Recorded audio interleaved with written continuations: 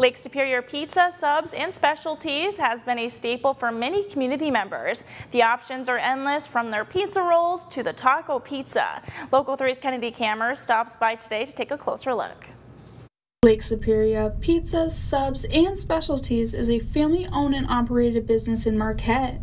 They were founded in 1963. They have been through some different owner changes, but each one has put their own spin on the menu. Current owner Kristen DeMay says they make it fun.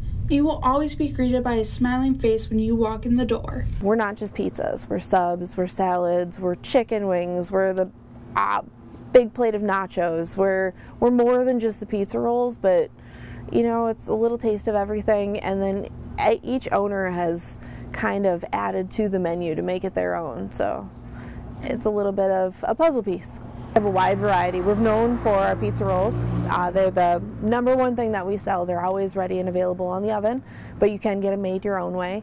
Um, it's kind of what's made us a staple. People come back and they're looking for those. I don't think it's anything special. I think it's just one of those comfort foods that people come back to and they're like, oh, this is this reminds me of high school, or I remember when I was in high school, or when I was in college.